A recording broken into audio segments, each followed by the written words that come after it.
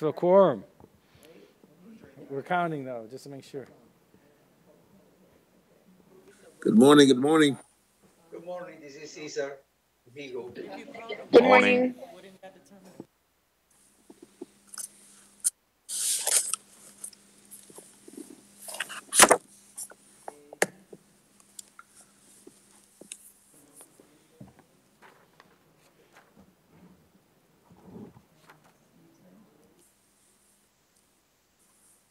I in, Mr. Oswald? You're here, Mr. Rhodes, you're in. All right. We're Making doing, sure. we, we're do, we're doing good when we have, uh, the Glades represented here. Appreciate you being here.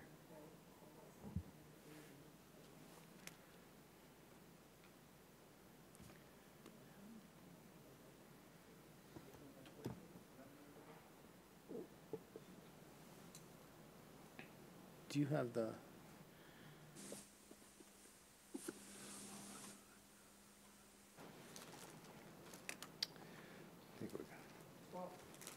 Okay, Mr. Chair. We'd like to call the meeting to order. Uh, we have a what? meeting to order. We would like to have a roll call.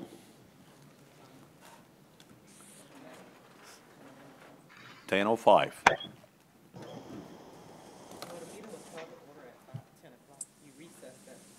Recess and uh, Okay, reconvene at ten oh five. 10 o'clock? Yeah, we call the meeting to order at ten, reconvene at ten oh five. Okay, all right. Adopt a family, Jessica Pagan. Here, present online. Best Foot Forward, Debbie Elman. Present online. Black Chamber of Commerce, Hello. Cassandra Oliver. Present. Mm-hmm. Card at FAU, Jack Scott. Card at FAU, Sabrina DeGoges. Present online. Coalition for Black Student Achievement, Dr. Deborah Robinson. Coalition for Black Student Achievement, Deborah Stewart. Compass, Amanda Canetti. Compass, Rex Barnes. Connect to Greatness, Dr. Cassandra Corbin Thaddeus. Present online. And Connect to Greatness, Andre Thaddeus. Present online. Okay. District ESE Advisory Committee, Kimberly Spire O. Present online. District ESE Advisory Committee, Michelle Beatty. Present online. Division of Blind Services, Caesar Vigo. Present online. He's online? Yeah, I see him. Okay, all right. Looks like he and Economic Council of Palm Beach County, Craig McKenzie. El Sol Jupiter, Suzanne Whitbeck. Florida Hispanic American Chamber of Commerce, Juan Pagan. Present. Florida Hispanic American Chamber of Commerce, Evelyn Vargas. For the Children, Reggie Durandis. Okay, hold on, please. Gold Coast Down Syndrome, Sue Davis Killian. Guatemalan Maya Center, Mariana Blanco. Present online. Hispanic Chamber of Commerce, Maria Antunia. Hispanic Education Coalition of Palm Beach County, Hector Pedra. Online. Thank you. Thank you. Uh, NAACP, Diedrich Strawn. Palm Beach County Council of PTAs, Charmaine Postal. Present in the room. Palm Beach County Council of PTAs, Marcus Brown. Uh, Marcus told me he may be running a little bit late, so he may jump on soon. Uh, Palm Beach County Human Rights Council, Emmy Kinney. Present online. Okay. Tri-City Education Committee, Eddie Rhodes. Present online. And Tri-City Education Committee, Mary Evans. I'm Urban representing the League. Glades. Okay. Urban League of Palm Beach County, Terrence Reed. Present. Thank you. Volunteer Association of America, Widline Pierre. Volunteer Association of America, Carlene Paul. Classroom Teachers Association, Gordon Longhofer. And Palm Beach County School Administrators Association, Jay Blavitt. Thank you. That concludes attendance. We have a quorum. Uh, Amanda, did you, I don't know, she said, did you call Amanda? Kennedy? She came in maybe after. You just put in the chat box. Kennedy, uh, Compass. Go ahead. Yeah, go ahead. Okay. Next, next item on the agenda is approval of the February minutes.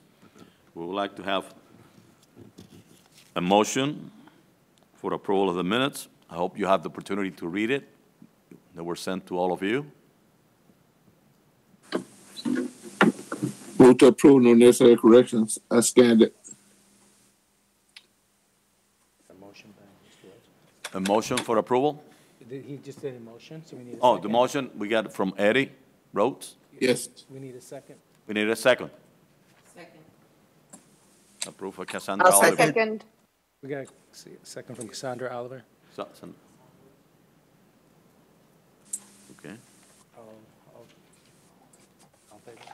All in favor?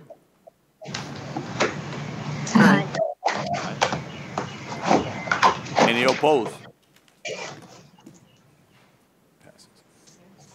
We'll move to the next item of the agenda.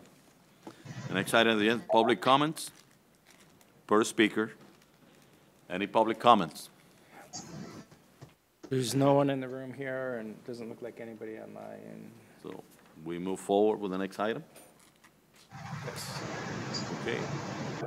Update from the DDEC ad hoc subcommittee. The subcommittee have 15 minutes. Subcommittee representative? Um, The subcommittee has completed its, Best foot forward, can you be on mute, please? We're getting feedback. thank you. Um, The subcommittee completed its work on our recommendation that we um, want to present to DEC and ask that DEC approve it to go to the board. Um, Is there any way to get it up on the screen? Because I didn't see it in my email. Yeah, are you sharing or me to share? Okay, share- thank you. Yeah, we'll share it. Um, we just want to say that this is our um, initial um, main recommendations, and there are a lot of details that need to be worked out. And we would work with DEC to develop those. We have some points and questions um, under each one of these that we will pr- be pursuing if and when we get this approved. And um, it did not go out. So I'm just, I could read it out loud or I could let you all read it um, paragraph by paragraph. The first two paragraphs are our introduction and what we're trying to achieve. Um, I'll let you all look at it.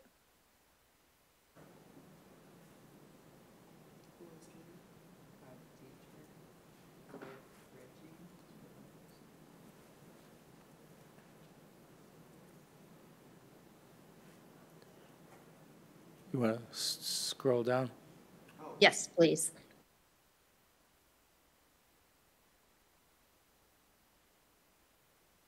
Can you scroll? Put it a little, yeah.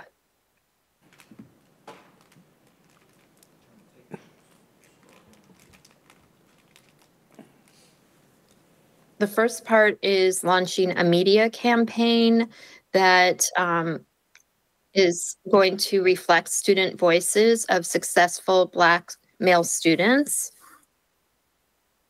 The second one is to create a database of both school district and community based um, organizations and um, groups that are responsive and supportive of the successful Black male students, um, and making parents and um, school staff aware of these programs and also the students themselves. Um, did we miss part of the Can one? you, can Oh, wait. Janina, we're down to third bullet. I think we got that. And then um, creating environments in schools that um, help to enhance the sense of belonging and connectiveness, connectedness for successful Black male students. Um, and we provided some examples, but we will develop more with the help of DEC. And then um, having a communication between school administrators and successful Black male students to foster dialogue, allow the students to present the challenges and the things that are working for them, and work with the administration to come up with solutions and making it an ongoing process um, so there's continual improvement. And then providing um, professional development to um, starting with administrators um, and then also um, school staff, school-based staff. And um, we are going to use the best practices of teachers who have been identified as successful. And then um, presentations um, would be made to all principals as part of that. And I know that that process has started and it would include, as I said, best practices and hopefully um, would follow up with um, implementation of some of those in the schools. And then um, really focusing on promoting connectedness and sense of belonging for these students because they feel very isolated right now. Um, and then this public campaign will include things like bumper stickers, social media, PSAs, etc. And the emphasis is on positive, positive affirmations, I see myself, and community-wide narrative for the public. Um, the next one is providing training for administrators on how behavioral health professionals can play a critical role in this process. Um, and I think right now they don't get a lot of training on this and may not be assisting as much as they could. Um, and then the final thing is providing professional development for teachers on creating classroom environments that um, are positive for successful Black male students. And we're going to kind of focus on successes that have already existed um, and then try to come up with new um, ideas as well. So that is kind of a nutshell of what we're trying to accomplish. All of these things need to be developed further. And we are suggesting that we're going to recommend that the board recommend these um, items be implemented. And then we want to ensure that um, the DEC is part of the process and providing guidance on it um, as school staff um, works on it. So we're hoping that the board will recommend to the school district leadership um, that they put this into place. So just to set context, we spent a lot of time last meeting going through this, and then I asked for some time to meet with the subcommittee, which we met a couple times, to refine these a little bit. Um, And so I think, Kimberly, you're looking for a motion Um, I, yes, I'm looking or for a motion. discussion on or that. question. Question, yeah. Um, Eddie? Uh, yes, uh, it's kind of scanning in number two, uh, in reference to the community and parents and, uh, being available, uh, knowing that this program is available. Yes. Uh, the strategies in doing that, would that be something that you can put in place or something that needs to be put in place or something that the school board will put in place or that's something that the, the program would do? Um, we would have to work with the school board on this, um, and reach out, you know, seek um, different organizations that can be on the list. And I think that Keith can help us and some of the other school district with what is already, already exists within the school district. But yes, um, we would help provide guidance on it, but it would be implemented. All of this we're recommending um, would be implemented within the district, working with key staff that would be identified. Right now, we're trying to get it um, recommended by the, well, first DEC to the school board, and then the school board to senior, um, you know, senior staff, Okay. the well, superintendent and the other key um, people. Yeah, my reason for asking is because so many good programs come into the communities and, and the parents and the communities and the organizations that will help uh, is not aware. So, uh, and, and and looking at going to the school board, uh, if we had something in place that, that can give them some insight of how it needs to be done, uh, uh, and make them privy of what we're trying to do and our plans are, as far as getting this to the community and the parents. And I keep saying parents because they're a very important entity which is left out the loop sometimes. Yes, And and to get and to get them involved will be an asset to making this thing happen. You know what I mean? Absolutely, and that is Yeah. part of the per, uh, a main reason that we have that in there is because parents don't always know about all these resources. Yes, that's that's that's why I mentioned. I'm glad you did that. Thank you. Thank you. And any subcommittee members, feel free to jump in if you want to expand upon or correct anything I say. And you have a hand in here, uh, raised, Ms. Postal? Thank you. Through the chair, so question for you, have we consulted or have we had any conversations with students? Um, Given that this is a student-led organization or a student-led initiative, then that's, I guess that's my next question. Is it an initiative? Is it a program? Are we asking, based on what I see, look like we're asking some things of the school district? Is it to be embedded? Is it to launch new programs? But my main question was, have we included students? Um, because oftentimes we're talking about students, what we're going to do for students without them. So have we included the students in this specific? Yes, Dr. Corbin Thaddeus? Yes. Um, that's, that's the foundation of this. So that's even how this conversation got started because um, the research with students directly with specifically, not just students, but with um, high academic achieving Black male students. And that's where, that's the foundation and um, the spirit, that's where the spirit of this comes from. Um, it was Dr. Corbin Thaddeus' research that initiated this. Um, we heard her presentation and then we said, how can we um, take these uh, recommendations and what the students said and create something within the district that supports them?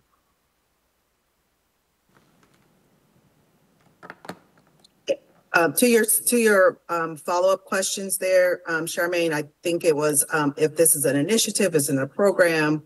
Um, I'm not, I don't think that we landed specifically. Um, I, I don't think we landed specifically on if it's a, it's not, a- it's not a program, I would say.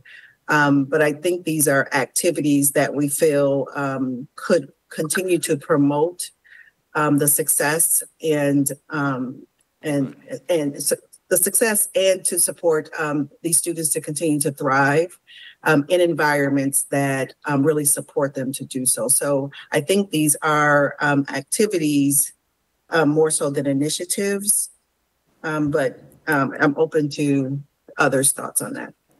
I think if, if we had a motion um, on the table, it might help kind of think through. Okay. I think the motion would come from the committee because. From the mo- committee. Yeah, because if it comes from the committee, there's no second because it's coming from a committee.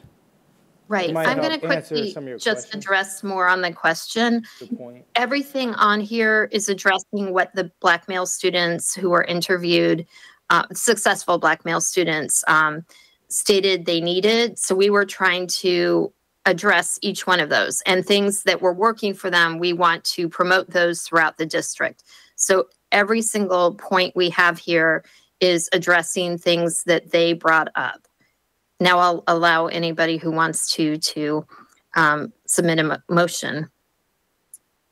Okay, I'll make a motion. Um, I motion that the DDEC recommends that the school board and district leadership collaborate with DDEC to bring awareness to the high academic achievement of Black male students throughout Palm Beach County um, and provide solutions that will cultivate and maintain their success, specifically focusing on inclusivity, respect, and empathy.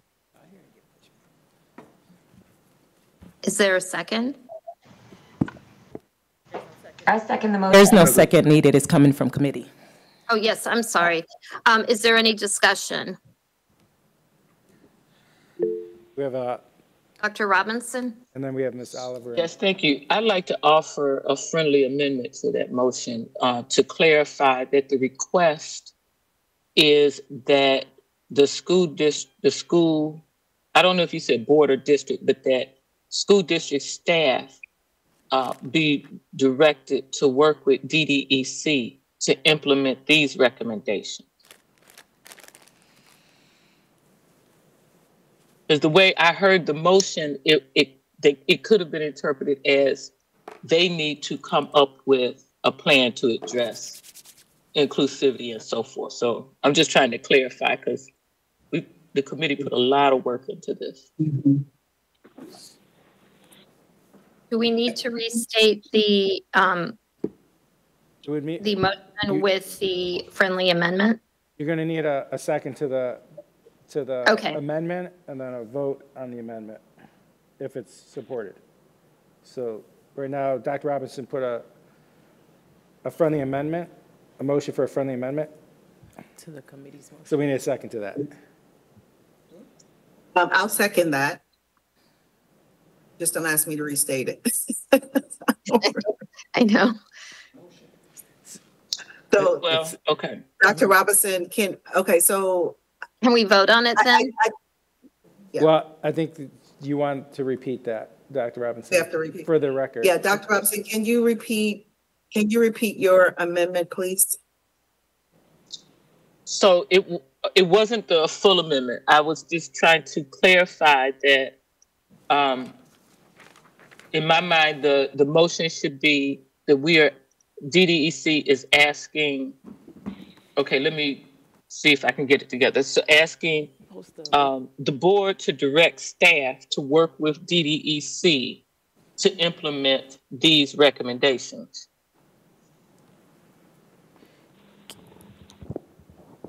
Through the chair, Okay, so the we- DEC recommends that the school board and district leadership and staff work with, No, they're gonna direct staff. oh, through the chair, can we post the original motion and maybe that will help us clear up what Yeah. Dr. Robinson is saying? Okay. Um, maybe all on the let chat. me, Can you, can you? Can we the type it original? in the chat? in the chat, yeah, let me, I'll drop it here. Okay, stop sharing, let me share. I'm gonna share. I just, I just dropped it in the chat. I think that'll, Okay, it's in the chat. So what I'm, what I'm trying to clarify in my amendment is that the school board and district leadership will direct other staff to work with us. Unless you're saying that you really want the school board and superintendent and the chief of this and chief of that to sit with DDEC on this, because Okay, I am changing, the DDEC recommends that the school board direct district leadership and staff to collaborate with the DDEC to bring awareness to the high academic achievement of Black male students. Let me go down. Throughout the Palm Beach County I would say school district.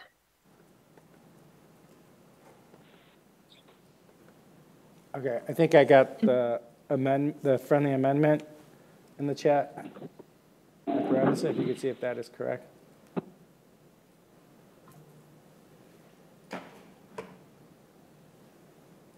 But it's not to provide solutions, it's to implement the solutions that are being provided by this subcommittee. right. That's really the part I was pushing back on. I think the language about district leadership and school board collaborating is um, like it, it, like the commercial. That's just not how it works, you know. Okay, I'm trying to fix that. So amend the provide solutions. We don't, we don't, we want them to take the solutions that we have and move them forward. Im- implement the recommendations. Correct. I'm working on it. I think I've got it. Wait, I'm not the best typist. Okay, how's this?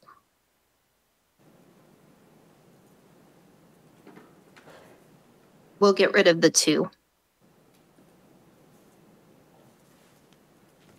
Oops. Let me fix that again.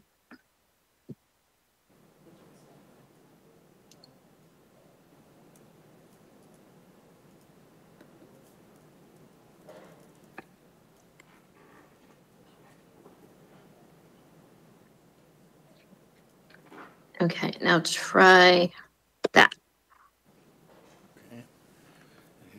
Wait, I thought it didn't take.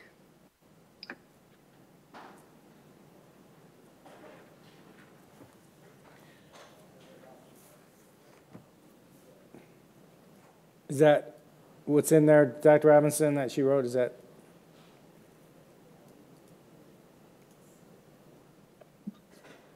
Okay, hang on. Let me catch up, please.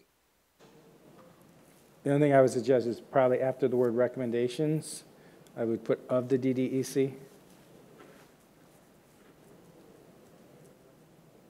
It's not letting me change it, I don't think. Wait, Right, because you're talking about the recommendations that the subcommittee came up with, yeah, correct? yes. Yes. Okay, let me, You got it? You want me to do it? I, I'm doing it right now. Okay.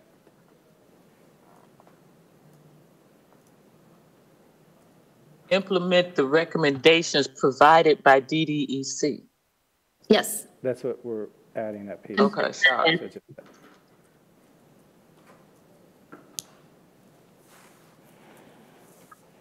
okay. Turn out okay.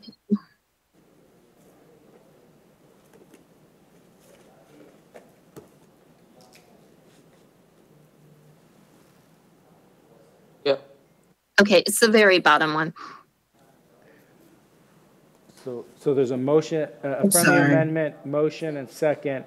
You still need a vote now on this amendment, friendly amendment. Um, one more, one more, I'm sorry, one more thing. Um, I, and I, I don't mean to turn everything upside down, but, uh, the last sentence, I'm just looking at this and it, um, it doesn't, for me, connect back now. I just thought about this. So specifically focusing on, so the very last sentence, right, where it says cultivate and maintain their success, specifically focusing on, and it, I'd, I'd like it to read, we can keep the other, the, the three that are there somewhere, but I'd like it to read focusing on connection, belonging, and trust. Because that's where, that's where we um, have, that, that's where we kind of started to make sure that this was embedded. So you have a friendly amendment um, that's Yes. currently on the table. So, so you need a amendment to the friendly amendment Yeah, I, I. unless yes. Dr. Robinson wants to continue to fix her friendly amendment. We Only can have one? I don't know. Was- You can do another one. I'm just trying to keep it straight. Okay. Dr. Robinson, is- has yours been addressed? No, I, can I? Or she could withdraw, you could withdraw yours. The amendment failed for lack of a second and start again, because. There was a second, Ms. Robert's Cassan- rules in just a second. Dr. has- Thaddeus, uh, second that, your amendment, Yeah, I did. Oh, The fr- the friendly amendment was second. go ahead. I'm gonna accept whatever she says. Go for But it. So the sec, so Dr. Robinson's friendly amendment should have been accepted because I seconded. Correct. It is. Okay. So she could Anyone withdraw, opposed? she could withdraw it. Okay, so then we need to vote on the current, and then you can go ahead and offer another friendly amendment. Sorry, yeah. So we need to vote on the, the friendly amendment. Okay, anyone? Those voting, those voting in favor Of the friendly amendment. of the friendly, of the front amendment? Aye. Aye. Aye. Any opposed? Nay. Nay. So it passes with, So it passed, with because, one, yeah, with one two no. to one, three to one, what, with one, one in dissent. well, one Mm. undecided. No, one. On, on one uh, And opposed. One, one opposed, right. So passes with one opposed. Now, we're back to the original amendment, which is what's in the last piece in the chat box.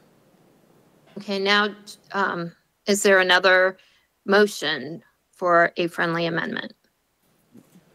But Cassandra, I don't think you, Dr. Thaddeus, I don't think you can make a friendly amendment since you're the original Oh, okay, motion. okay. Because you made the original motion? The original motion didn't come from Yeah. her, it came from committee. So she would be able to. It would come from committee, it didn't come from anybody in particular. It came from the ad hoc subcommittee. I think I'm the only one that can't make the motion. Anyone can make the motion. The f- original motion came from, um, the motion as presented by the ad hoc committee. It was not from anyone in particular. It came directly from committee. So this motion, and even if you So did make a motion, amendment. she can so- make a motion, yeah, correct. okay. Okay, so go ahead, Dr. Thaddeus. All right. Um, so I would like to make a friendly amendment um, to the motion on the table to read um, the same, except for the last three words. I'd like them to read instead connection, belonging, and trust. Do we have a second? Okay. Second.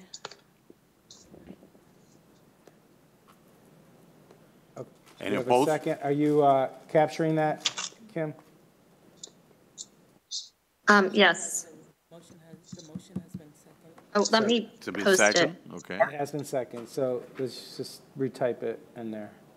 If you look at the very bottom, I retyped it. Okay. Are- Any discussions? Uh, it's- Ms. Cassandra? I know we had several discussion moments last meeting, but I don't recall, please refresh my memory, what was the timeline for this to get to the board? And what we're expecting for resolutions or getting onto agenda items from the board? What is the expectation there? The- The So- next school board meeting is April 17th, I believe. And we, if we approve um, whichever amendment, you know, whichever, if we approve it, it will go at that time. Our uh, D- DDEC chair will present it.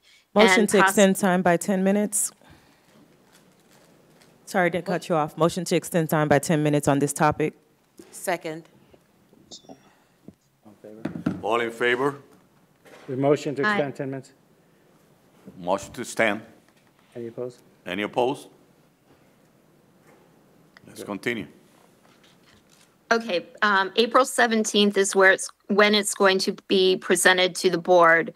And the subcommittee plans to meet the follow, at the following meeting, um, as we do just before the next DDEC meeting, which I believe is on the 24th. So we should get input from the board that we can possibly start implementing and expanding upon the document that you see here. Thank So- you. And that would be presented um, through the chair's report, um, but also in written format, um, probably via email and a hard copy as well. Thank you.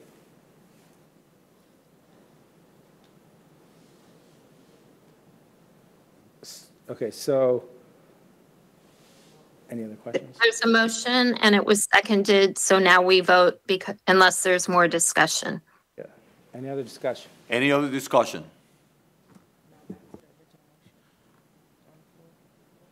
Back to original motion on the floor?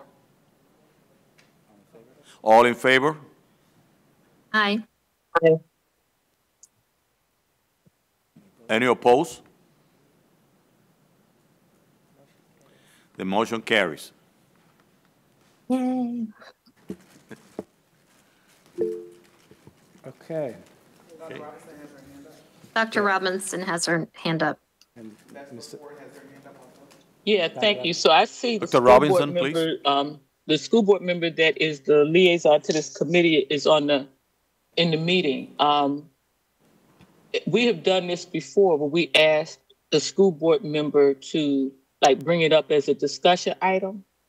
And so my question um, is if the school board member is willing to do that. So then it could be that the recommendation comes from the DDD, DDEC chair at the beginning of the meeting, right? And then at the end of the meeting, the board member is championing championing this. Are you saying during committee reports? No, I'm saying you, board discussion items at the end of the meeting. So it would be bookend. It would be it would come under committee report at the beginning of the meeting. Oh. And, but then the board member who is the liaison here, Mr. Ferguson, could circle back and bring it up as discussion. So it's not hanging in the wind as a committee suggestion. Okay. And then the board members can discuss it. And I'm, you know, I'm working under the assumption that the board members would say, yeah, and kind of direct the superintendent to have staff work with DDEC on how this could be implemented because each one of those steps, you know, we said has to have further conversation on how to get it done. Like that we weren't just going to recommend it and walk away. Mm-hmm. Okay. Do we Um, need to make a motion on that or do we just? add- No, the, Mr. Ferguson is on the call. Mr. Ferguson? It's, it's- she's asked Mr. Ferguson to put it on as a discussion item at the end. If he's willing to do that. I'm. Hold on one second. I'm here. Hello? Okay. You might have to Yes. repeat, Did you Dr. hear the discussion? I did. You asked me to make sure that we put it on as a discussion item, so I'll, I'll get with, um, Mr. Oswald to make sure I have the proper language or what have you. Um, that won't be a problem. Great, thank you. Okay. And in that way, it'll be bookend. So it's not just the committee, but it's also the board. And then the, and then the superintendent will be looking to see if any board members have any pushback when, um, when the board member brings it up. And if there's none, then you would expect it to, you know, move forward. Okay. Sounds good. All right. Right, so we move um, on the agenda with the next item. Update from Chief of Equity and Wellness, Mr. Oswald. So I'm going to defer that time so that we have time for, um, right now, for the new business, for the presentations, as well as a presentation on classic learning test, and an update on the Stronger Connections grant. So, So we're gonna move to the next one, the Guatemala Mayan Center, Ms. Mariana Blanco. Okay, yes. Uh, one, one moment, thank you. Uh, Keith, will you be pulling up the presentation? um, yeah, uh, I have it from, la- I have that one from last month, right? Mariana Blanco's presentation? Yes, or, no, Yeah, I know, yeah, give me one second. She did. No problem.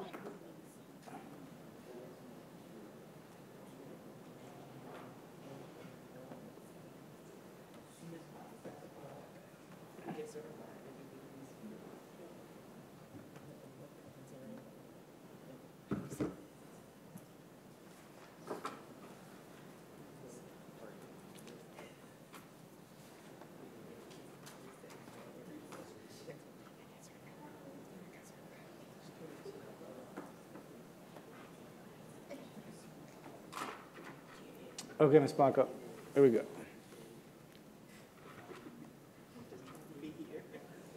Okay, thank you. Can everybody hear me? Yes, we can. Okay, wonderful. So, uh, my name is Mari Blanco. I'm the assistant director at the Guatemala Maya Center. Um, and I'll just be quickly going through some of the services that we provide. So, just quickly, our center has was founded officially incorporated in 1992. Um, Father Frank, our founder and executive director, has been doing this work long before then. And when we initially started uh, the center, we began doing prenatal care. the NICU at St. Mary's was completely overwhelmed with uh, premature babies, primarily indigenous Maya babies. They didn't know how to navigate the healthcare of those women. And um, so that's that's kind of how the birth of the center started. Um, uh, navigating the culture and the language barriers that the women were having um, at the hospital. And so since then, our work has um, evolved based on the needs of the people. That's something that we are really proud of. Our services always are constantly changing um, based on what we hear that the community needs or that the community needs more support in. The building that is um, on the screen is a brand new building that we are operating in. We have for a long time operated in very small areas and we were lucky last year to be able to move into this new area so we're directly across from Lake Worth High School now. And so then some, some of our services that we provide at the center, and these are just some of our set programs, but um, there's a lot of other stuff that we work on throughout the years, depending on uh, the, the need of or the focus for that year. But I'll start with uh, our set programs. Our Parent Child Plus program is a program that we have. It's funded by Children's Services Council, and it is um, for early literacy for starting at two years old. A case manager navigates them all the way through four years old, making sure that those two year olds or those children are meeting um, all of their uh, early developmental stages.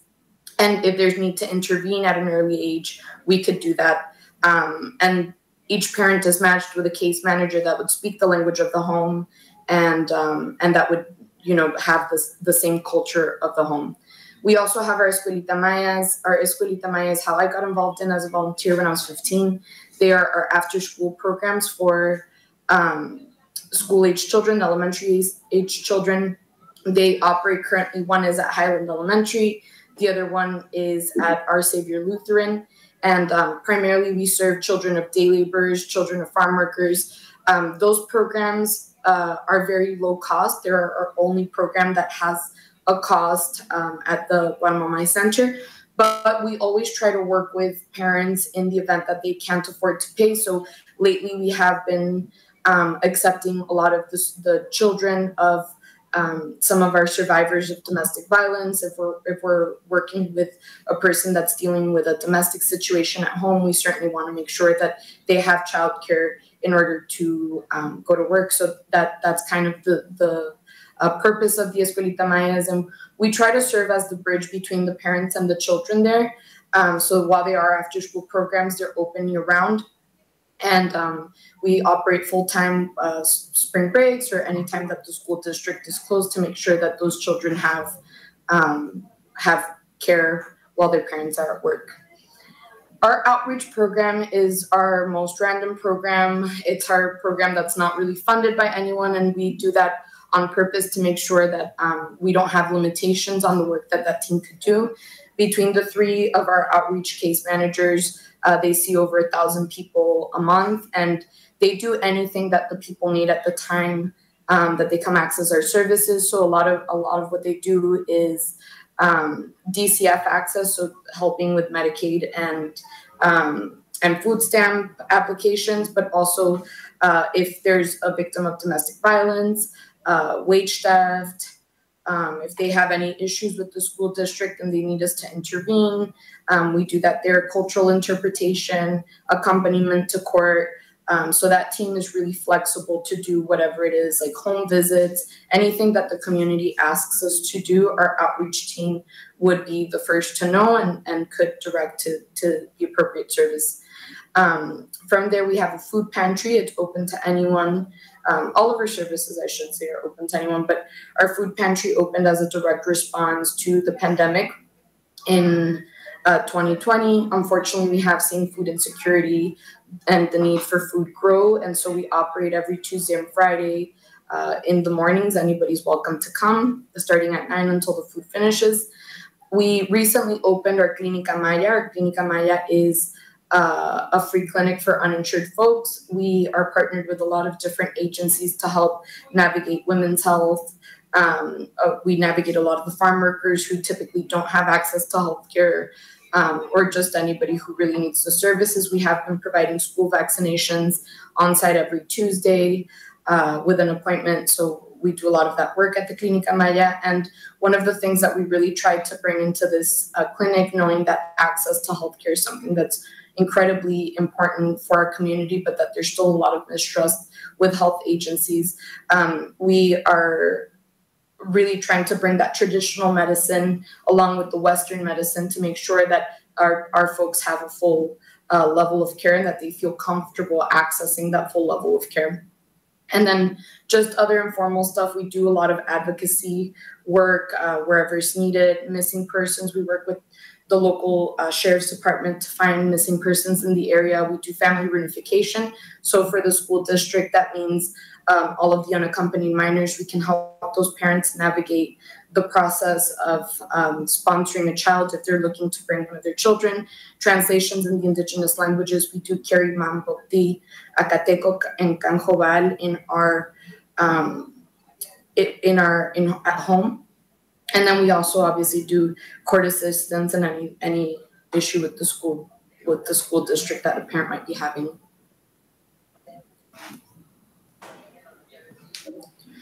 we serve really anybody who walks through our doors. Currently, we're serving uh, people from 28 different countries. Um, most of our uh, population, we are the home to recent arrival migrant families because we um, recognize that typically those folks don't qualify for a lot of other services or they have a hard time navigating other services. A lot of our uh, population is primarily non English speakers. Um, and while anybody can come and access services through us. We are a home for the indigenous Maya.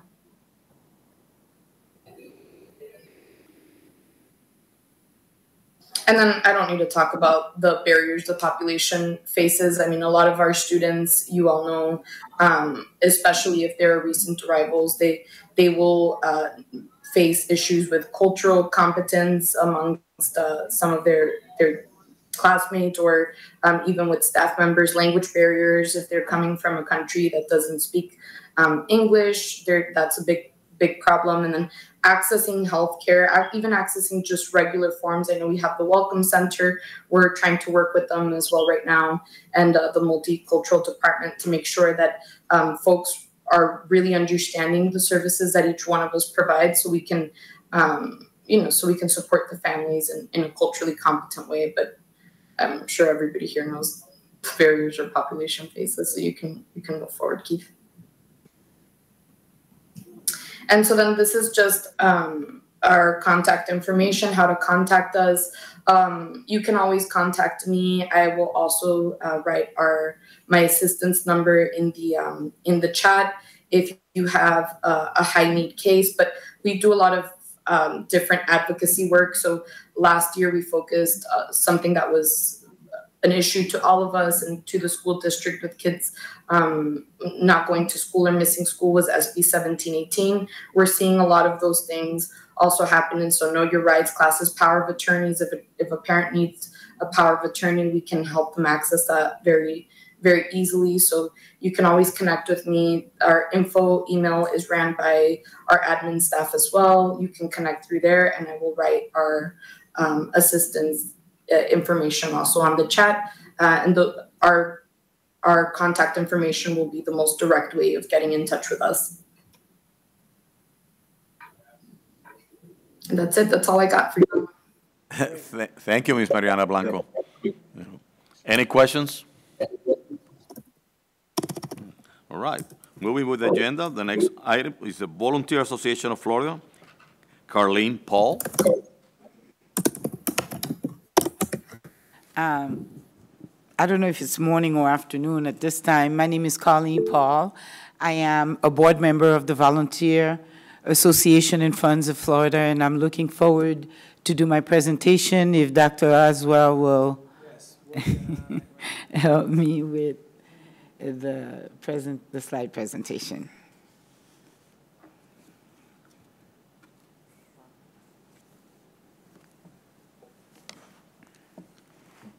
Yay!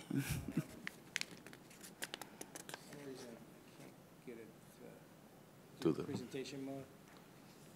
Yeah. Okay, are we ready? Yes. Okay.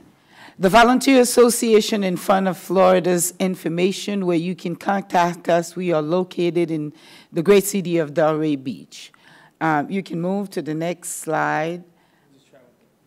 You trying? Just want to go.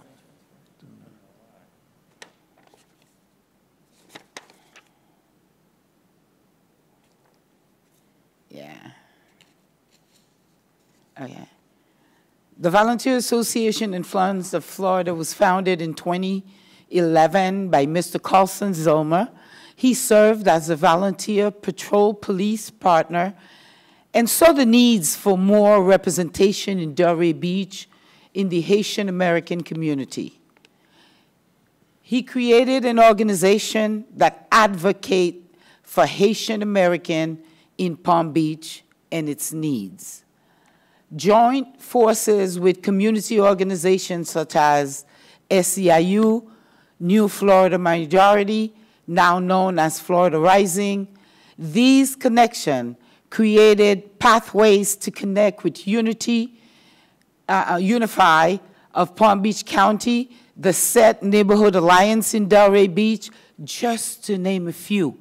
We are everywhere in order to connect the African American community and the Haitian American community using the resources that are available. And one of the biggest problems is the language barrier.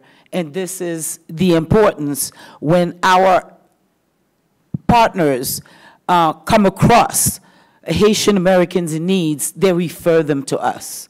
So we are grateful to have an array of organization that oversees and concern. Yesterday, we had a press conference about the issues in Haiti, and we were there. Our organization was represented because we truly believe that politics play a very big role in the lives of Haitians living in the United States and abroad. Uh, we'll move to the next slides, please. Uh, it's a picture of our partners. Um, to the right, we have Ms. Deborah. Ms. Deborah is a voter registration icon. She's a guru. I mean, she's next to you. She will register you at 17 years old and tell you they will send it to you when you turn 18. And the others are members of the SET Alliance. We also have Miss Ann here from Florida Rising and many others. We can move on to the next picture. Our core values, next.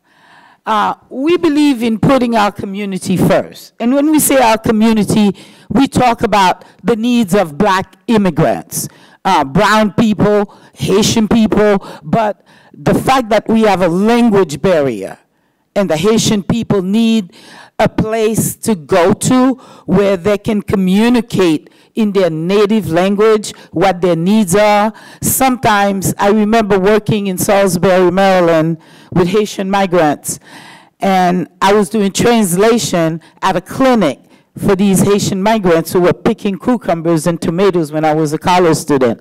And one of the doctors told me, teach, how you gonna say, um, how you gonna say, uh, there are certain expression that they give you in growing up in America and not accustomed to these uh, uh, words. If you try to do direct translation, the doctor is in trouble.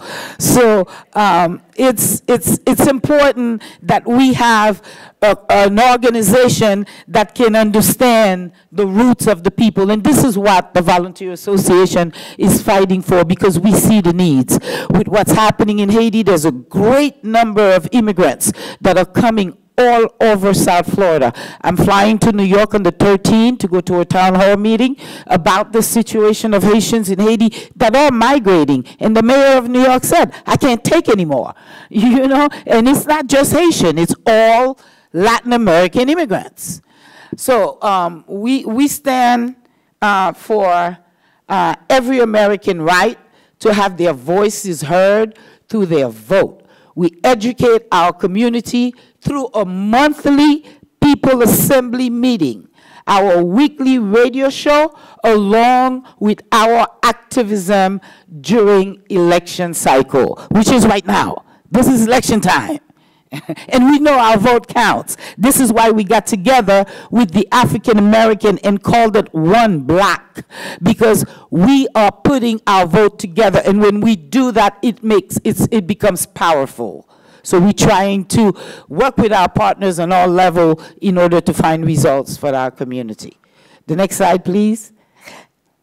Our mission. We are a not-for-profit 501c3 Haitian American organization. We are dedicated to empowering, mobilizing, educating, and preparing community leaders to share their values and maximize their voting power in, in, in civic engagement. We aim to address social, educational, and economical inequities that our community faces every day. Next slide, please. This is a picture of us in the community, and you can see my beautiful face. You can't miss my glasses. And, and, and, and, and the team of Haitian, we are all volunteer. We do not get paid for what we do, and we are a lot. And we, you know what we do? We, we schedule our time. You go into the office, there's somebody that needs something, it must be done in the office. Are we going to take them to this office in order for them to find the resources? These are the people that stand together behind Volunteer Association. Thank you, team. uh, our stakeholders, uh, we find, we fight for our children and our elderly. We advocate for Haitian in Palm Beach County, both existing and newcomers. And, and the needs is very, very great for the new immigrants that are coming. And we speak up for the disenfranchised and the forgotten voices. That's what we do at Volunteer Association everywhere we go. We have a mic, we go to school board meeting, we go to community uh, uh, meeting. We do everything in order to answer the need of the Haitian American community. And being part of this board uh, brings us, uh, give us a platform to let the community understand that the school system is willing to work with different organizations. And when you go to a school, there's an approach for you to have with the principal of that school. Uh, uh, uh, uh, you catch more bees with honeys. So these are some of the work that we are doing at the Volunteer Association. Next slide, please. These are some of the pictures. You see our youth. Uh, they go out, they canvass. They were supporting uh, the great Biden in the in the 2020 election. In Florida Rising is a nonpartisan 501c3 organization that does a lot of advocacy for issues such as housing uh, and, and, and, and, and, and children rights, uh, uh, reproductive rights, and we travel with them all over the state of Florida in order to get our word across.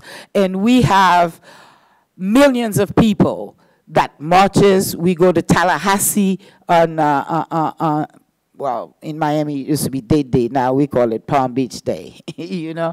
So this is some of the pictures that we're sharing with you. Next slide, please. Okay, some of the activities that um, we get involved in the community, it's very popular. Thanksgiving giveaway, senior appreciation dinner that we do every year and the Christmas storage drive. These things are things that connects us. They will call us on the radio, Teacher Colleen, when are they giving the turkeys? Uh, uh, Teacher Colleen, when are they giving the toys? So we always give them a date, and then they look forward to the date, and they bring toys too. They, we have boxes, they deposit one or two toy, and we have organization that donates a whole lot of toys and turkeys to us, but it's never enough.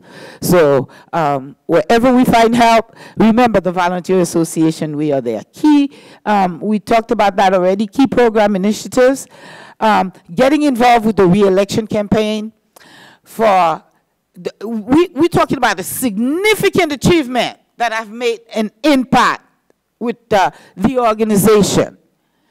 When we got involved with the re-election campaign of Dr.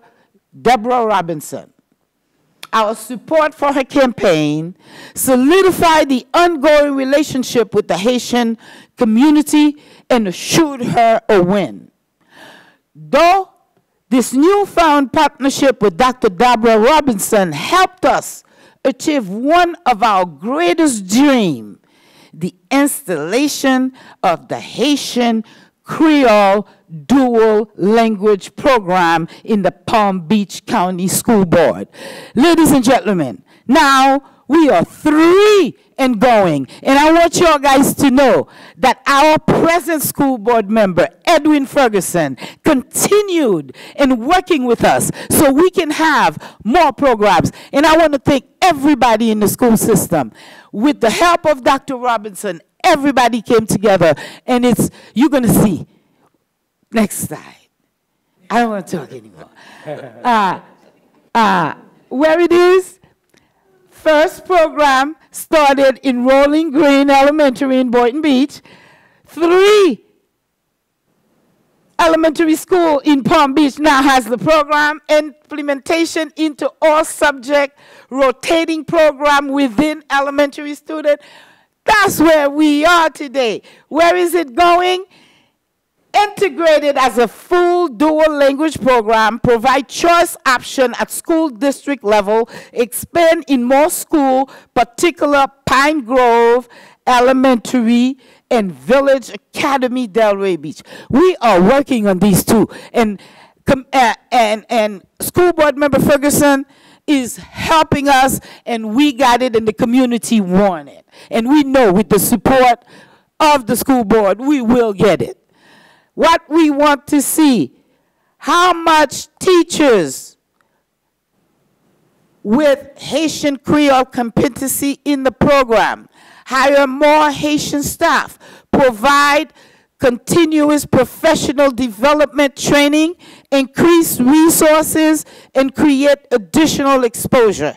I got to tell you, ladies and gentlemen, when I just came to Palm Beach and came to our first board meeting, parents were calling me because I spent 31 years on Haitian radio in Miami-Dade, and I came to Palm Beach County, and I'm like, we got to build up the Palm Beach Haitian American community just like I did in Miami-Dade. And I went to a few schools. Uh, the people were lost. When they arrived, they didn't have anybody to talk to in their native tongue. And I educated them. I came to the school board meeting. And I'm proud to say there's not one school that I go to today that do not have somebody at the front door that can speak Creole with these Haitians. Our work is great. It's working, and the school board is listening. I am very proud. We invited the superintendent at our radio show. He came. So there is a great relationship between the Haitian community and the school system, but we also educating the parents on an everyday basis how to approach people. We tell them they don't know how to read the code of conduct. So we are taking that responsibility little by little to teach them this information. This is why our goal is to get a center in Palm Beach County with the name of Haitian American Resource Center Volunteer Association in front of Florida. We will not stop until we get that. Next slide, please. You're doing a good job. I got to. You are too. uh-uh. play, play, play, play this little clip and listen to this. I was a drama major in college, guys, so I, I, I, I, I got to put life into it, you know. Pine in Florida, RJOC Carp. Um, Rolling Green Elementary. Our state has a large Haitian population, and so this program will serve a lot of students that go to this school. Now, the way that it works is students will be in a classroom where teachers are teaching in both English and Haitian Creole. A select group of kindergarteners at Rolling Green Elementary in Boynton Beach are taking their Hold- education hold on, to the next level. is there, This is, you got a better idea? Is this one getting presented to? Hmm?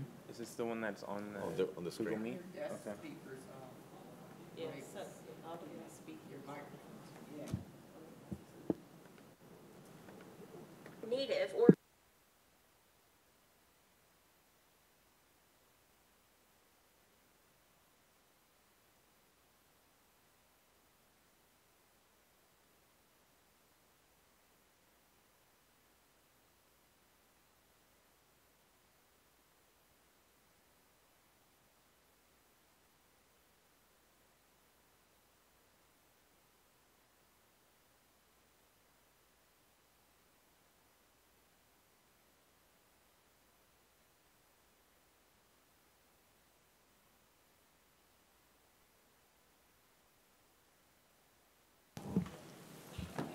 Trying to work on a way to better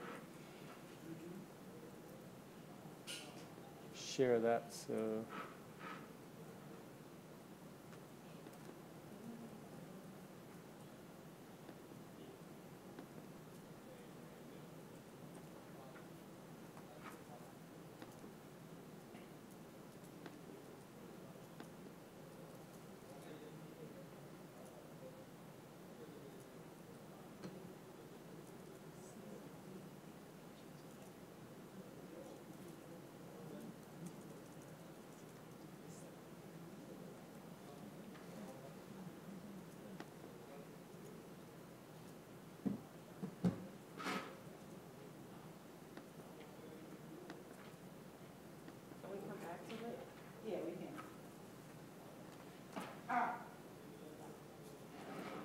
Yeah, just give me a second, just in another.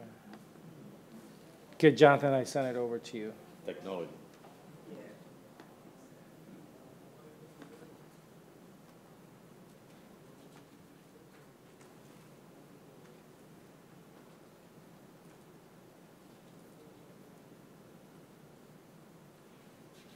And it's slide 17 when it, Yeah. it refreshes.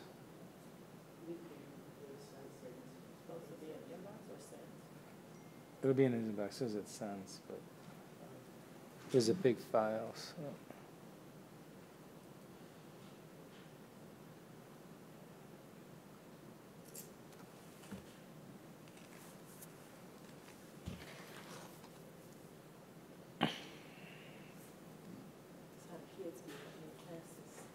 Yeah.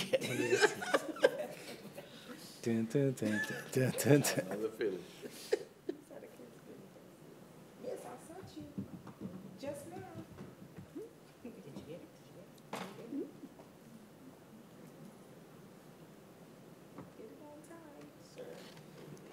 Jonathan, if you want to keep looking for, we'll play it maybe at the end and let, um, He can work on it.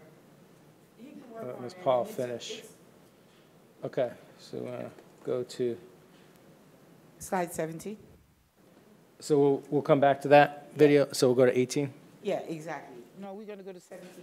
Did we do due process for Haitian students? Yeah, that's where we're at now. Okay. So, um, Haitian families felt belittled and undermined by school personnel. And what we meant by that, these are things that happened in the past. And this is why I say this partnership and working with the parents and educating them on the radio, uh, we have seen changes. Parents were not provided proper assistance with language services. Again, like I said, it's, it's, it's a thing of the past. The verbal and nonverbal. Well, I think he's got it, so I'm sorry to interrupt you. Okay. I apologize. Okay, we can, we can show, it's a one-minute um, uh, news clip that came out with the great work that we did on the opening, on the opening day of um, this great program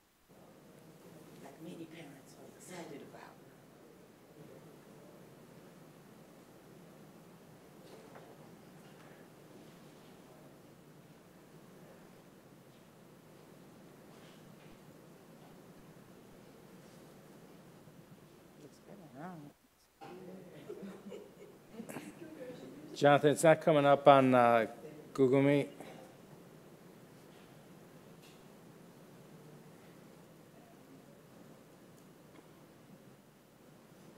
You might have to stop presenting. I did. There you go.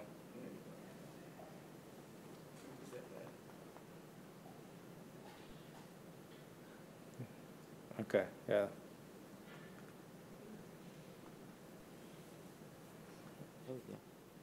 Cross-cultural education program in Boynton Beach. Some kindergartners are getting classroom instruction in English and Haitian Creole. This is the first of its kind in Florida. Our Josie Carbonari got an exclusive look at Rolling Green Elementary.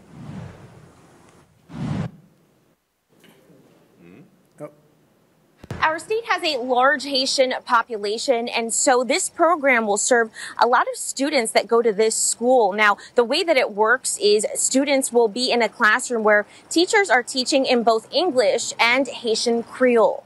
A select group of kindergarteners at Rolling Green Elementary in Boynton Beach are taking their education to the next level. Ah, It's a first of its kind program in the state. The school district of Palm Beach County offering dual language learning in English and Haitian Creole. This is kind of groundbreaking for us. According to the district, 9,500 students in Palm Beach County identify as Haitian Creole as their native or home language. Superintendent Mike Burke says the program will allow students to attain high levels of academic achievement and develop cross cultural competence. We hope to Well, I think that's it because um, we did not want to make it too long, but we wanted to show you that it was highlighted in the media. And one good thing, since this program, the principal has invited the Volunteer Association to every single activities that is going on. And we make sure one of our members, either board member or volunteer of the organization that love what we do are present at these activities. So I want to tell you that uh, thank you, Dr. Robinson, and thank you, uh, school board member Ferguson, that is continuing uh, uh, in the struggle with us. Now let's go back to, let's continue to page 18 with civic engagement. Uh, the, the civic engagement. The Volunteer Association has worked directly with local and state organizations to advocate for the rights of black and brown people in Florida. We have addressed the Florida House of Representatives, held press conference, and marched for our rights. We work diligently to register more eligible citizens to participate in the political process. We are dedicated to continue our work with the current board members and staff of the public school system to continue the implement, to implement positive changes for our students and their families. And the next picture is a picture of us participating in an activity. And of course, teacher Colleen is in the picture with the pants with the stripe. Uh, so uh, that was May, May 18, celebrating Haitian Flag Day. We went from cities to cities to cities that day. I was ex exhausted, and um, it was a great day for the Haitian American community, where we saw flags, Haitian flags in different cities were risen, were rose, and people were excited, and, and, and the kids parents were driving by because they felt that they were part of the community. So Florida Rising was involved in all of these connections to make that day such an important thing. That's pictures with Florida uh, Rising and Volunteer Association at conferences that I tell you they pay for us. We go, we learn, we come back, we advocate, and um, we do a lot of work in the community. Partnership. Our partnership we're moving to partnership. Our partnership organization, like I mentioned earlier, SEIU, Florida Rising, Unify, uh, Palm Beach County, the SET Neighborhood Alliance, to name a few, because we have a lot more organization that we work with. But I was giving a limit to talk. Uh, Susan said no more than 20 minutes maximum. And, the video took 10 minutes. Uh, collaboration, Feeding South Florida, we work with them. Eat Better, Live Better. It's an organization that helps feed people. Delray Beach firefighters, they came and did uh, work with us during the pandemic where they gave uh, um, uh, uh, kits to the community. Vice V Medical Center also is a medical center that work with the community that we work with. VIP Integrative Healthcare, that's Dr. Martine, one of our board members. That's just to name a few. And community partnership, uh, we have Captain Coleman. He was a former uh, Delray uh, Assistant Chief Volunteer recognized, we recognize Captain Coleman in Lake Worth um, uh, because of his dedication to the Haitian American community and the community at large. Uh, we did a press conference where we organized uh, to speak against Governor DeSantis' support for Bill 1718, which affect immigrants. So we, we get in there. We get political. And we get people elected and we get people out of office too. Haitian Appreciation Day, we worked on that because uh, we have to show people that volunteer, we appreciate them. So after we worked diligently in the community, we came together with Commissioner Mack Bernard, Senator Bobby Powell, Attorney Al Jacquet, and members of law enforcement for a special appreciation dinner on May 2023. So we are there, we are moving, we are hot, and we want to be hotter with the school board this particular uh, um, year coming. What we'd like to see more cooperation with our association to implement changes, see better treatment for Haitian families from current administration, increase funding for programs and resources to support Haitian American student as partner to promote family involvement. And you can tell us how to do that uh, uh, uh, uh, uh, uh, so we can, you know, increase funding. That's important to us. Uh, we, we the little kid that don't understand the process yet. So get us in there. Include more Haitian American in administrative position through the school district, install a Haitian Caribbean resource center in Palm Beach County. That's our dream. And partner with district with the district to promote programs and to educate the community through Haitian media.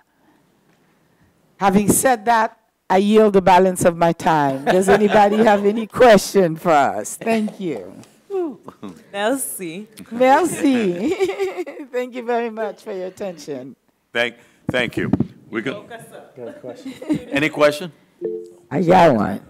Is there an event happening on the 30th with your organization? And, and on the 30th of this month? Yes, because uh, you said you had a press conference yesterday. Yeah, and then there's a march. Yeah, there's a march on the 30th. And, and, and they're demanding certain things that I'm not too crazy about, the first two things, but the rest of the stuff we agree on. and that's why I'm going. Any other question? Any other question? Merci beaucoup. Merci beaucoup. Thank you for your attention. Nice job.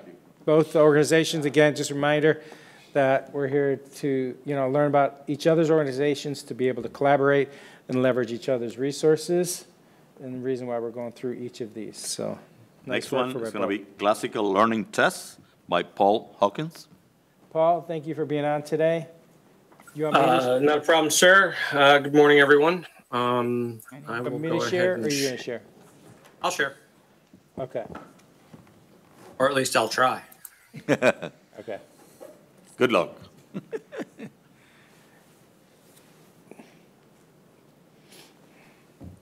All right, so y'all should be able to see that uh, classical learning test. Kind of Yes. just a brief update.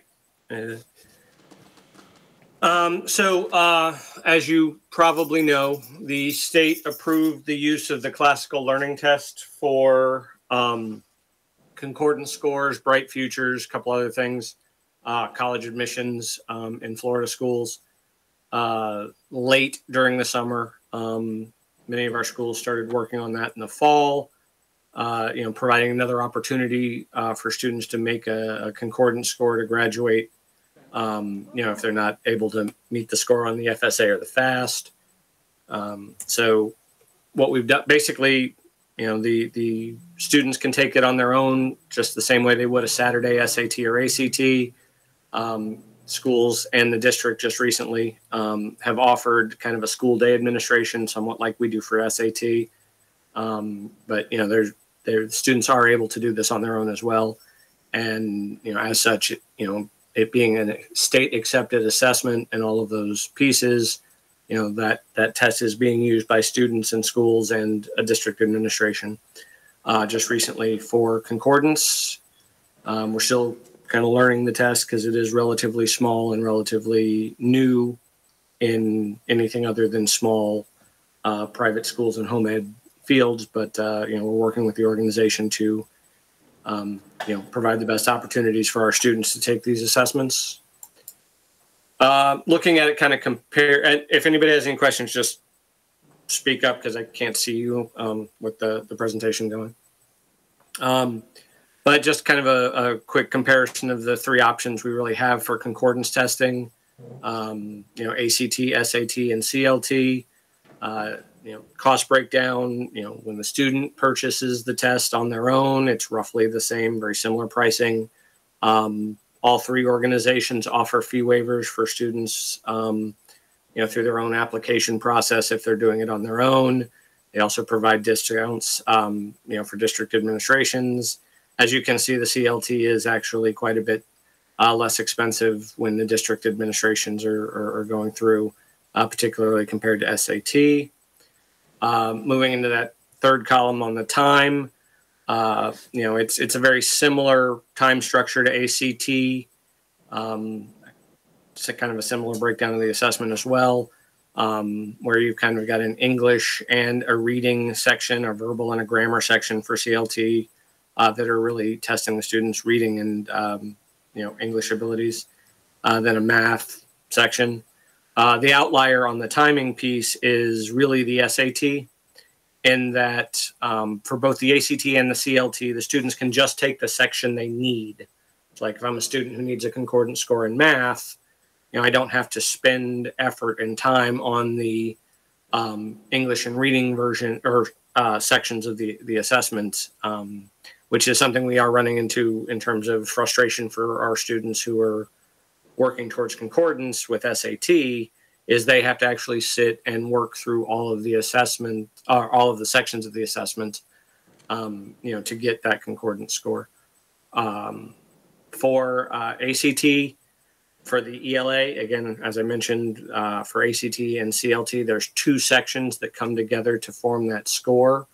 Um, for ACT, the, the, the, the scoring is for the graduation requirement is based on the average score between those two sections.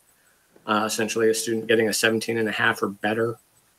Um, whereas CLT, they're actually doing the sum of the two section scores. So um, each of the sections on CLT have 40 items, one point of question, very straightforward scoring, um, which is a, a little bit, um, you know, a positive on the understanding side of things. You know, you got 20 out of 40 questions as opposed to working through scale scores um, like ACT and SAT. Um, and then the other really big um, uh, difference, you know, again, it's a 40 item test and the the concordant score for CLT for for the math for the algebra requirement is an 11 out of that 40.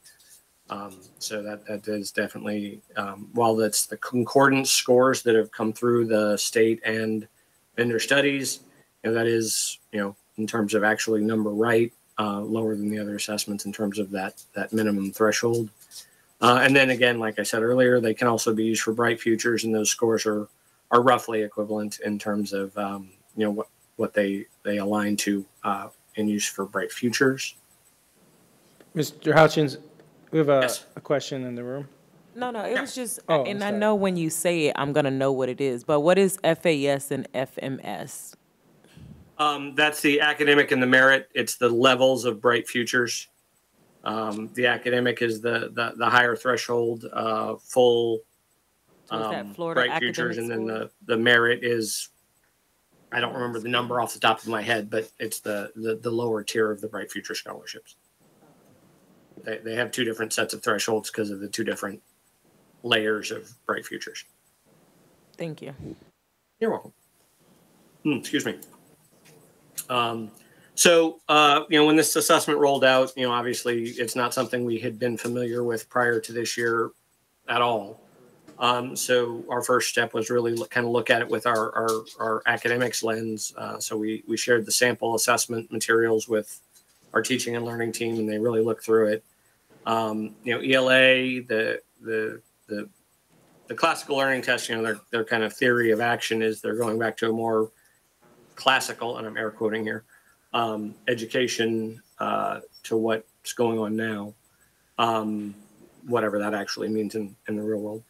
Uh, but basically, in terms of looking at the items, the the questions are, are a little bit more straightforward and to the point, not quite as complex or rigorous as what the students are seeing on a FAST or an FSA um, for the reading and the, the, the grammar section. And then for math, uh, the content, it's well, it's within the uh, instruction.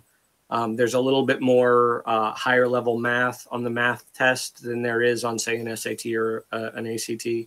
Uh, you know, some small percentage of items, at least on their sample materials, um, that uh, relate to pre-calculus, um, logic-based uh, number sense items.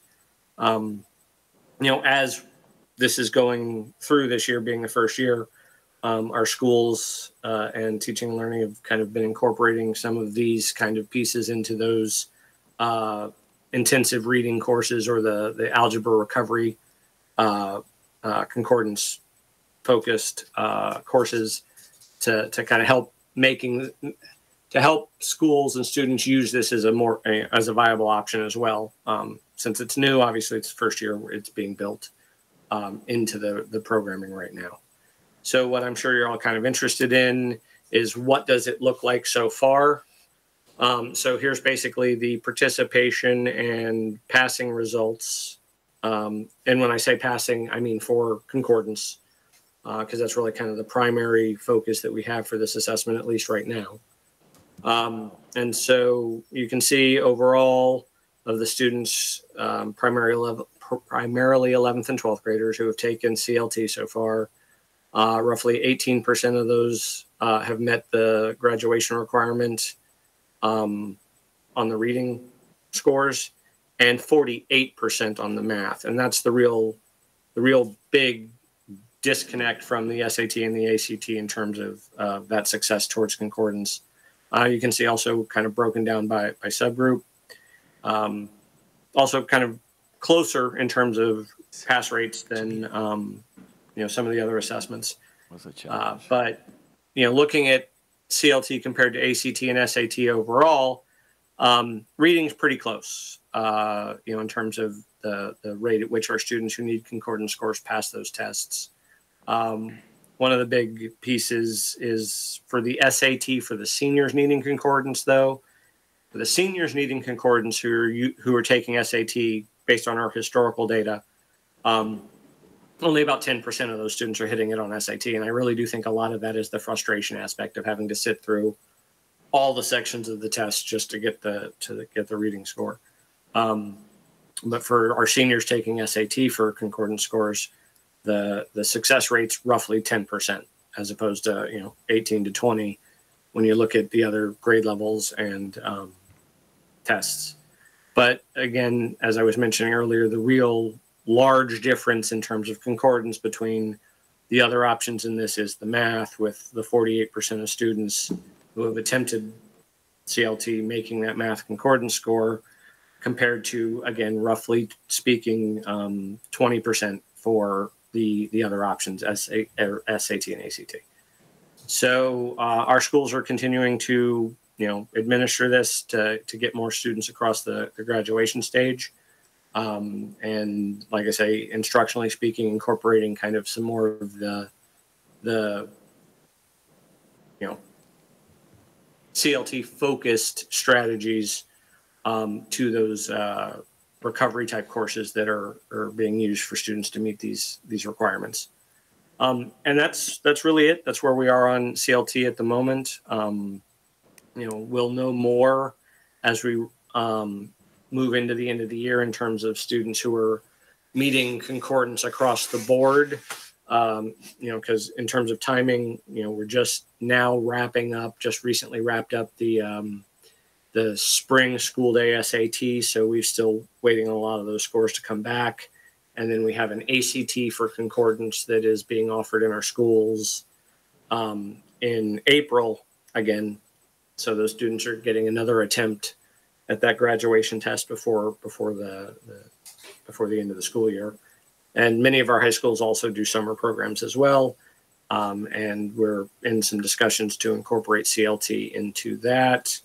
uh, as well as some of our schools also offering April CLT administrations in addition to the ACT. So, in a nutshell, that's the that's the the CLT so far.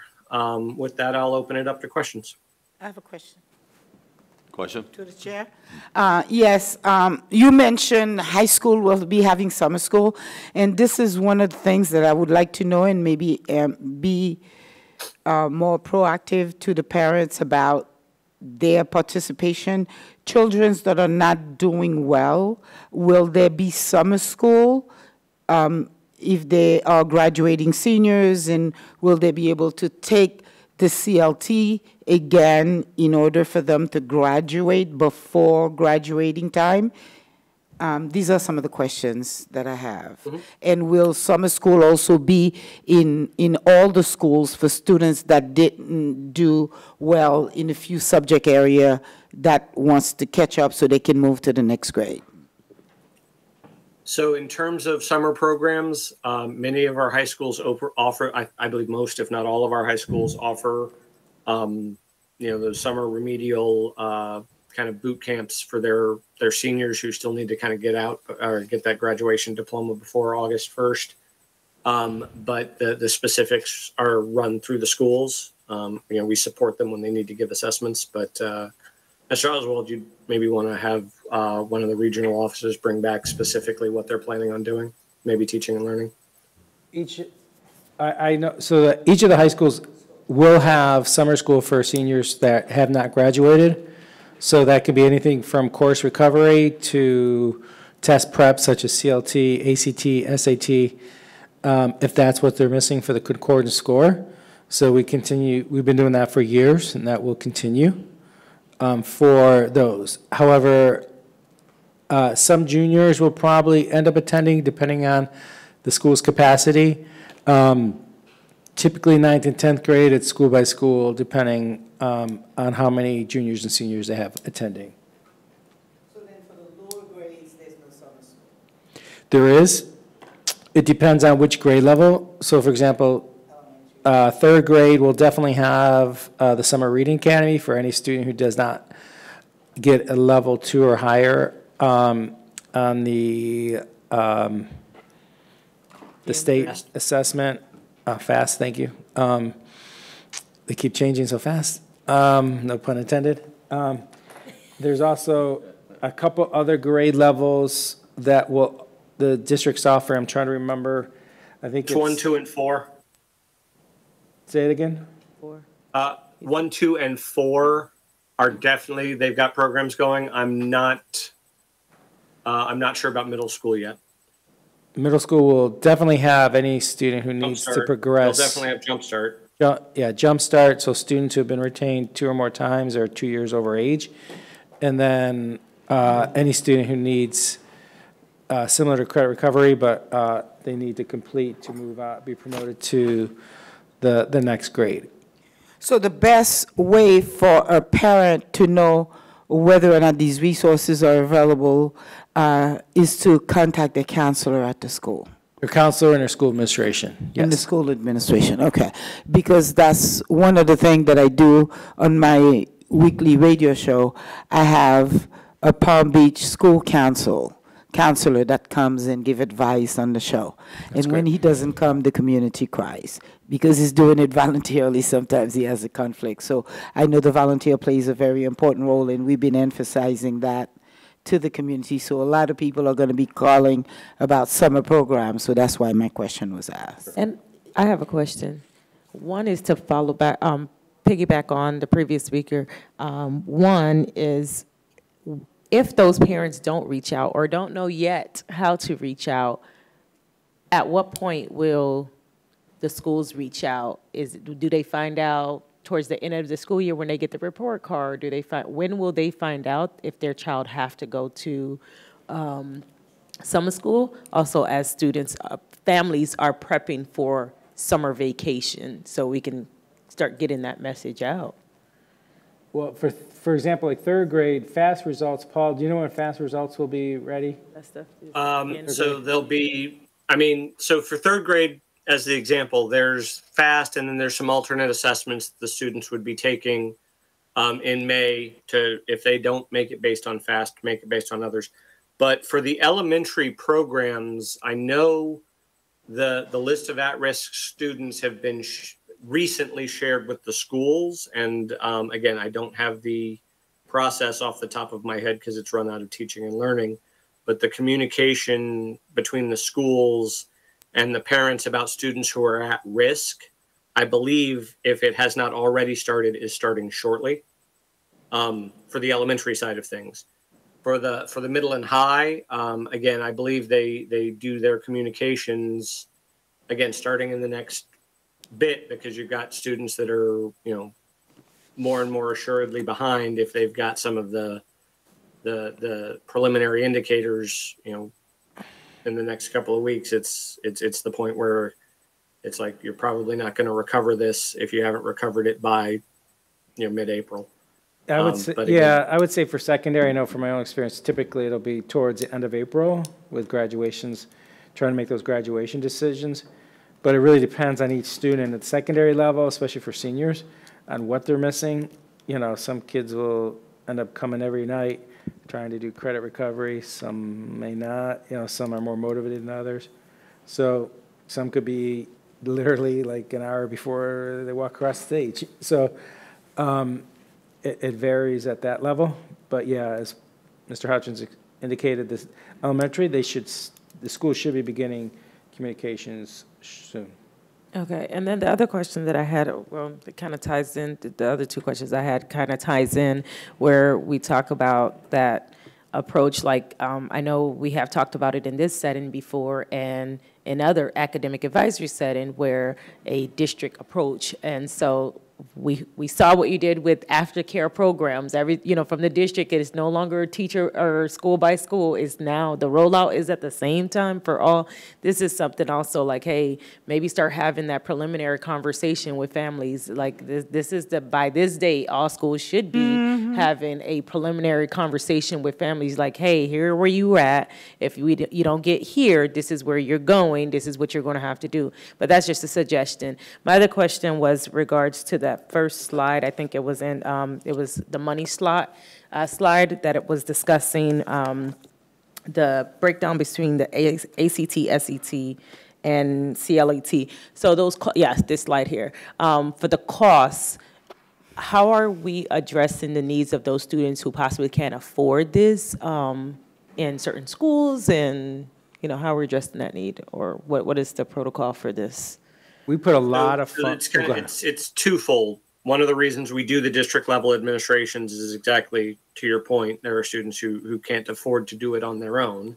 So those district costs are basically when we do it as a district, um, either for like SAT school day where we do all 11th graders and pay for it. Um, we also do ACT, SAT, and now a CLT where all of the students who need it for concordance are funded by the district.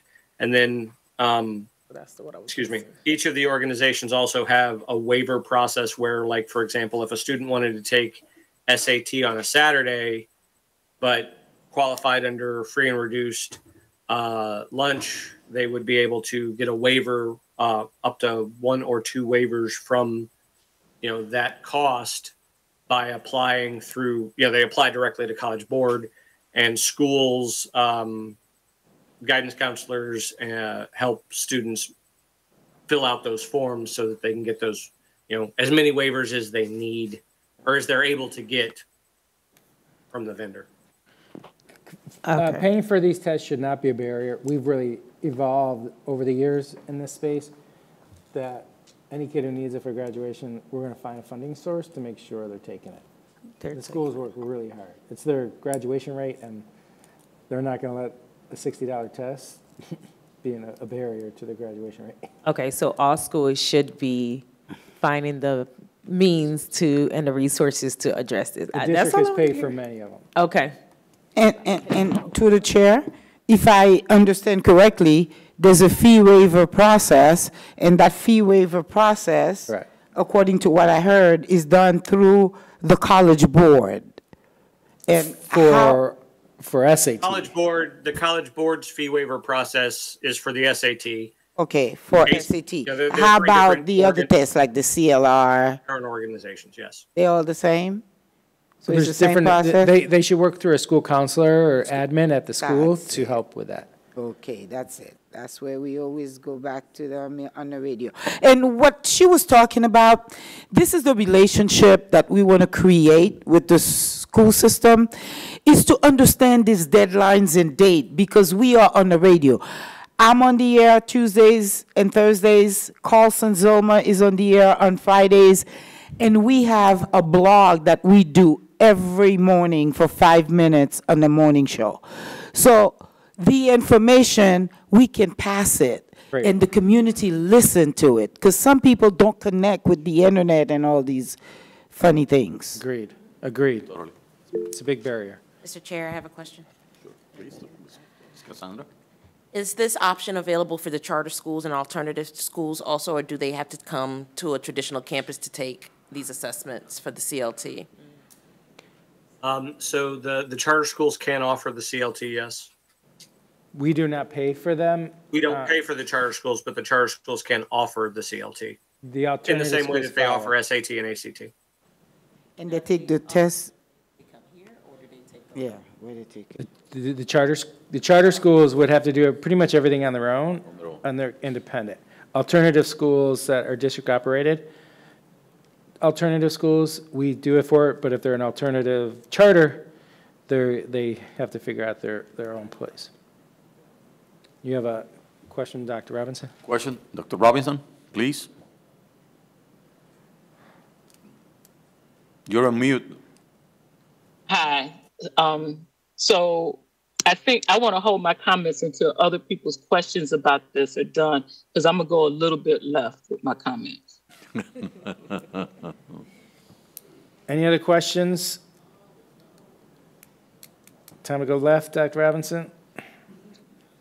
Yeah. So, all right. So thank you, Mr. Houghton, for this um, presentation. You know, okay. I'm really saddened again. Um, when I was on the school board, I eventually stopped going to graduations because I realized that all the children walking across the stage were not prepared equally, right?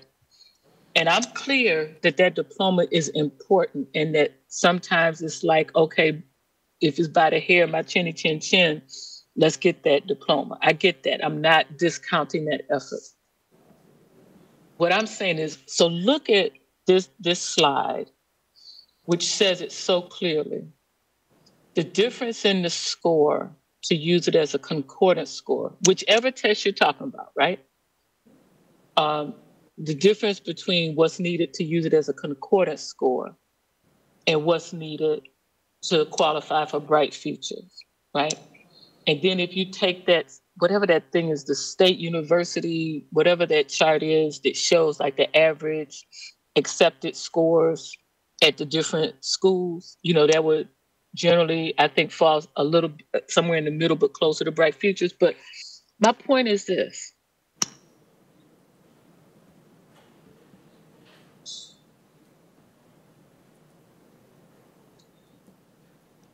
Okay, I'm trying to find the words to express the depths of my disappointment.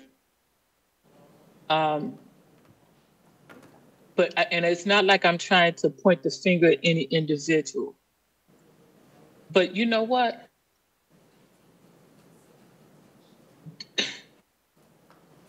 The system still still does not work to educate all students, right? And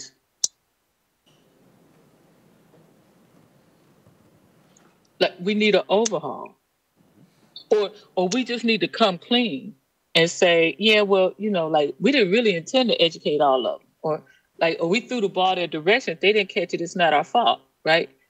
Um, but for me, I'm still stuck in that.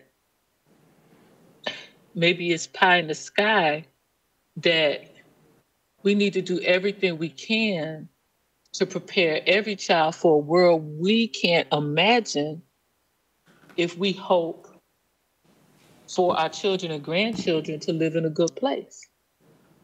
And this is clearly now, and if you take this this chart and then superimpose the percentage of children of different subgroups who end up requiring the concordance scores to graduate, you know, our expectations are just too low for some children. Okay? And okay, so I'm I'm gonna get off my soapbox now, but I just this is like painful. This this is painful. And and you wonder why you see some of the things you see on the news. You know, in, my mind, every time you see a crime, it's it's a manifestation of the failure of the public education system. And and I I have, as the young people would say, receipts to show that the school district is sliding backwards. You know, maybe on the coattails of state foolishness. I don't I, I don't know. But all I'm saying is for the people on this committee, and I know you care about children, you care about the children you advocate for and and other people's children. Look at this. Look at the two columns on the right and tell me do you want your children to earn their high school diploma with the concordance score, or do you want them to reach the academic scholar level for bright futures? And the question is what is the school district going to do in partnership with community? Because I'm clear it has to be partnership to have each subgroup no longer require the use of the concordance scores. I mean, or or just like change the doggone mission statement. Okay, I I, I I'm I'm done. But okay, one more thing I'm gonna say. And if at any point in time anybody wants to join the Coalition for Black Student Achievement in trying to raise expectations for the community, because trust and believe, I'm gonna be showing this data at Saturday's coalition meeting, right? Because it just it starkly says what I've been seeing for a long time but it says it in numbers, which is so much clearer to me. If anybody wants to join the coalition and, and raise their expectations, let me know. And I, I get off my soapbox, but I mean, I'm, I'm, I almost want to cry. Um, To the chair. Um, Dr. Robinson, I'd love to join the coalition. I think we've exchanged numbers. We'll follow up and, and see At how any I can. I can be part of it. Thank you. Thank you. Any other comment, any other question? Thank you. We move on to the next uh, presentation, Stronger Connection Grant. Mr. Oswald? Thank you, Mr. Houchins, for, for that presentation. Appreciate it. Thanks for being here. Um, Real quick, because I know we're out of time and I have a hard stop at 12. Um, I do want to share, um, and thank you all for your support. I don't know if you recall, but a number of probably almost a year ago, earlier in the year, um, you all supported um, uh, our recommendation for the, the district to go forward with this Stronger Connections grant. Um, we kind of put a wish list into this grant. You also received this um, earlier today, and it's in, attached to the meeting. Um, so this Stronger Connections grant, we were awarded. So I quite shocked that we were. It's a $3 million grant for the next two and a half years. Um, this is a summary of what the work that will happen within it, within the Stronger Connections grant. Um, it does have a focus on ESE and ELL students, but also addressing uh, chronic absenteeism, as well as the MTSS uh, school-based team process. And then the third piece around this is student voice. So essentially what this will fund, it'll fund um, in each of the regions four positions for case managers to address the chronic absenteeism work. so everything from home visits, uh, really problem solving the challenges of why students aren't coming to school. Um, it will fund four positions each region that will address the fidelity of the school-based team process in our schools. And then it will fund a stipend um, at each of the schools for uh, next year and the year after.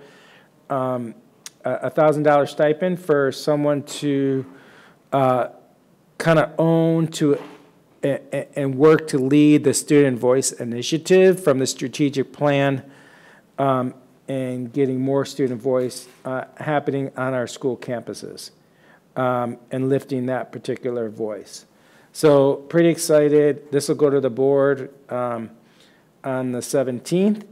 Um, And you are listed as an advisory group, so um, as we go through the next couple years with this grant, we will be bringing this uh, to you to give you updates on how that work is progressing. But I want to thank you for your support in that. Um, We're pretty excited. Um, I can't believe we received it because we kind of did a wish list, so uh, pretty excited that we got that. I have a question. Dr. Thaddeus? Yes, um, thank, you. congratulations. Um, great work to you and the team that put that together. And, uh, my question is, Keith, will you be the lead implementer and coordinator of this grant? So it's, uh, yeah, so I'm one of the leads. I'm part, with Kevin McCormick will also be part of it, uh, Director of ESE. So on, uh, Dr. Sheffield, Mr. Tierney's side of the house. Um, on the student voice, I'll be directly over that piece as well as the truancy piece. Um, I, I had a question. Uh, The schools have been identified and going to be presented. Is your, is your mic on? Okay, I'm sorry. Uh, I, my question is, have the school uh, that are be, that are going to be part of the programs for this grant have been identified and will be presented on the 17th to the board? So it's a district initiative. All schools are expected to be, to, will be provided support. So the positions themselves will be work on targeting and working with schools based on chronic absenteeism. Yeah, The, uh, the MTSS process will be working through, again, each of the regions to make sure that people are trained, that the meetings are happening, they're happening with fidelity, which is often a challenge. And then the student voice, the stipend for someone at the school to manage that is for all schools. Hmm, okay. Uh, I'd like to be, uh, m- know more and get involved in that project because the truancy, a parent called me the other day and she said, I take my child to school every day, but he's never in his first grade class. I said, do you drop him off late? He says, no, he just doesn't go. I said, then you go need to talk to the principal. And then sometimes he skips school. So that the parent want to come to me, so I'm sending them back to the counselor. Because I have the educational segment first and then the politic part after, people, parents just are there to listen and call me for questions like, my, I know my child is not going to school, what do I do? So it's great to hear that we will have a program, and I will talk to you about what I've done in Miami-Dade in that effect. Fantastic, yeah. School attendance is a real crisis, and we need to address that. Did I get- Yes. I forgot my Is you, question. Ms. Sullivan? I forgot it. You forgot it? Okay. All right, well, I'll keep you all updated. I know we're just about at time. Um, I, uh, just, just one other quick update. We are looking for two more agencies for, to present, uh, next month. Uh, so if you have not stepped up yet, we're looking for you to step up, uh, till we get through everybody. Um, I think you all know who you are, so I'm gonna call you out, but, um, if you haven't presented yet, please email us, or we're going to be reaching out to you all individually to present for next month.